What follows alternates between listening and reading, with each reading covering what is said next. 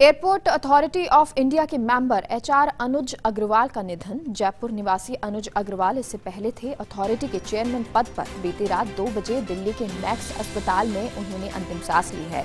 Corona संक्रमित होने के बाद अस्पताल में भर्ती थे। मूल रूप से राजस्थान के श्रीगंगानगर के रहने वाले थे अनुज अग्रवाल। तस्वीर भी हम आपको दिखा रहे हैं। जयपुर एयरपोर्ट पर भी लंबे समय तक निदेशक पद पर रहे और वर्ष दो हज़ार छह से पाँच वर्ष तक वो जयपुर एयरपोर्ट के निदेशक जयपुर एयरपोर्ट के टर्मिनल टू का निर्माण उनके निर्देशन में हुआ था। इसी दौरान हुआ था।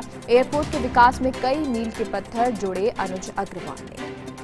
तो दिल्ली के मैक्स अस्पताल में उन्होंने अंतिम सांस ली है और हमारे सहयोगी काशीराम जुड़ गए हैं हमारे साथ। काशीराम तो ये एक दुखद खबर। जी, मेरा बिल्कुल बहुत बड़ी दुखद खबर है और एयरपोर्ट अथॉरिटी से जुड़े हुए जितने भी लोग हैं, उन सबके बीच ये गम का माहौल है। क्योंकि व्यक्तिगत रूप से भी बहुत ही अच्छे व्यवहार के व्यक्ति माने जाते थे अनुज अग्रवाल। जयपुर में लंबे समय तक वो रहे एयरपोर्ट निदेशक पद पर 2006 से 2011 के दौरान, और इस दौरान कई विकास कार्य उन्होंने किए। जयपुर एयरपोर्ट के विकास के लिए वो हमेशा आगे रहते थे। और जब, आगे जब उनका प्रमोशन हुआ, एयरपोर्ट अथॉरिटी ऑफ़ इंडिया में वो चले गए थे, जहाँ पर वो मेंबर एचआर रहे और कई अन्य प्रमुख जिम्मेदारियों पर भी रहे तो भी जयपुर एयरपोर्ट के विकास के लिए हमेशा खड़े रहते थे।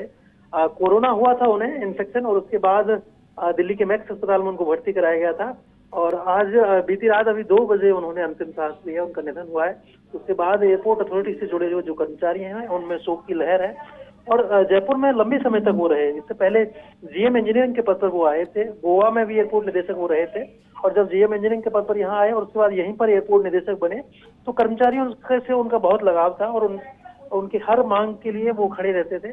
और एयरपोर्ट के विकास के लिए उन्होंने बहुत महत्वपूर्ण कार्य किए थे जिनमें कि सबसे महत्वपूर्ण जो है टर्मिनल टू का जो निर्माण हुआ है जो कि मौजूदा एयरपोर्ट है उसका निर्माण उनके कार्यकाल के दौरान ही हुआ।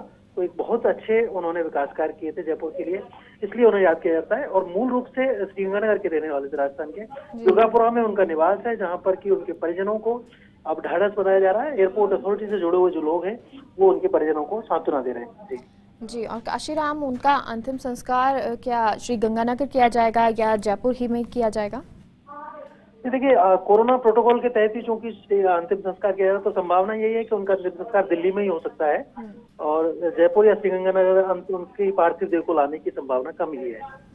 जी चलिए बहुत बहुत शुक्रिया काशीराम पूरी जानकारी के लिए।